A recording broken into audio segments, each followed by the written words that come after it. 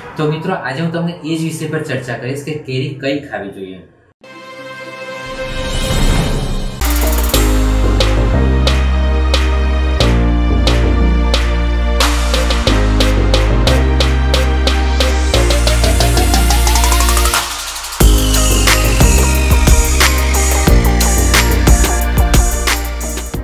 નમસ્કાર દર્શક મિત્રો.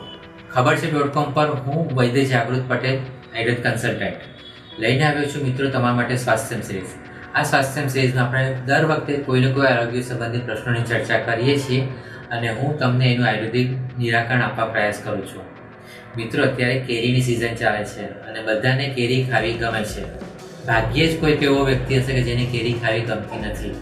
અને કેરીમાં પણ ઘણા અલગ અલગ પ્રકારો છે. કાચી કેરી પાકી કેરી હોય અથવા તો હાફૂસ હોય, કેસર કેરી હોય રત્નાગીરી હોય, રાજાપુરી હોય, એવી અલગ પ્રકારની કેરીઓ મળે છે. લમડો હોય તોતા કેરી હોય, ઘણા પ્રકારની કેરીઓ મળે છે. તો લોકોને એમ થશે કે કેરી ક્યારે ખાવી ને કઈ રીતે ખાવી અથવા કઈ કેરી ખાવી? તો મિત્રો, આજે હું તમને એ જ વિષય પર ચર્ચા કરીશ કે કેરી કઈ ખાવી જોઈએ. આર્યશાસ્ત્રની વાત કરીએ તો આર્યશાસ્ત્ર એવું કહે છે કે તમે જે દેશમાં રહેતા હોય જે જગ્યાએ રહેતા હોય તે પ્રદેશમાં ઉગતી ઔષધિઓ અને એ પ્રદેશમાં ઉગતું અનાજ, એ પ્રદેશમાં ઉગતા ફળ, ફૂલ તમે ખાઈ શકો છો. મતલબ કે આપણે ગુજરાતમાં રહીએ છીએ તો ગુજરાતમાં જે કેરી થાય છે, એ કેરી તમે ખાઈ શકો. ખાસ કરીને આપણે ગુજરાતમાં કેસર કેરી વધારે થાય છે.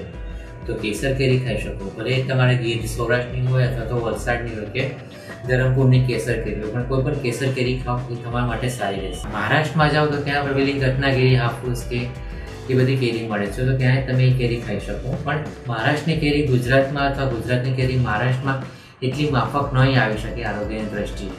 એવું મારું અનુમાન છે. એટલે તમે જે દેશમાં રહો છો, ત્યાં ઉગતી કેરી ખાઓ એ વધારે જરૂરી છે. કારણ કે ઘણા બધા કાચી કેરી પણ ખાય છે, પાકી કેરી પણ ખાય છે. તો એનો પણ આયુર્વેદમાં અલગ અલગ ગુણ બતાવે છે. કાચી કેરી માટે આયુર્વેદ શાસ્ત્રમાં એવું કીધું છે કે કાચી કેરી ખાટી હોય છે અને શરીરમાં પિત્ત અને વાયુ બગાડે છે. એટલે જે લોકોને ખાસ કરીને વાયુ પ્રકૃતિ છે અથવા પિત્ત પ્રકૃતિ છે, એ લોકો એવા વ્યક્તિઓ તો ખાસ કરીને કાચી કેરી ખાવી ન જોઈએ. બીજું આપણે ઘણી વખત કાચી કેરીનું અથાણું બનાવે છે. બોળો તીખું મરચું નાખીને, લાલ મરચું નાખીને બોળો અથાણું બનાવીએ છીએ. તો એ તીખું અથાણું પણ વાયુ અને પિત્ત પ્રકૃતિવાળા વ્યક્તિ માટે નુકસાનકારક રહેશે. એ લોકોને એસિડિટી પ્રોબ્લેમ થવાની સંભાવના છે. એટલે કાચી કેરીનું અથાણું વાયુ, પિત્ત પ્રકૃતિવાળા વ્યક્તિ ન ખાઈ શકે. એ જ રીતે મીઠી કેરી ખાઓ તો મીઠી કેરી ખાવા માટે પણ ધ્યાન રાખવું પડે, કારણ કે મીઠી કેરી પચવામાં ભારે હોય છે. તો એને પણ એ પ્રમાણે તમારે પાચન શક્તિ પ્રમાણે ખાવી જોઈએ. તો તમે જે દેશમાં રહો છો એ દેશ પ્રમાણે કેરી ખાવાની છે કેરી ખાવાનું હોય તો બપોરે કે રાત્રે જમવામાં તમારી પાચન શક્તિ પ્રમાણે તમારી ભૂખ પ્રમાણે પ્રમાણસર કેરી ખાઓ. જો કેરી વધારે ભાવતી હોય તો ફક્ત રાત્રે એકલી કેરી જ ખાઓ, બીજું કંઈ ખાવાનું એવોર્ડ કરો તો પણ ચાલશે. તો આ રીતે થોડું કેરી ખા, કેરી ખાવા થોડું ધ્યાન રાખશો. તો તમે સ્વસ્થ રહી શકશો અને જિંદગીની મજા માણી શકશો. સાથે સાથે કેરીની મજા પણ માણી શકશો. તો બસ મિત્રો આટલું જ. આયુર્વેદ અનુસરો. આજીવન સ્વસ્થ રહો.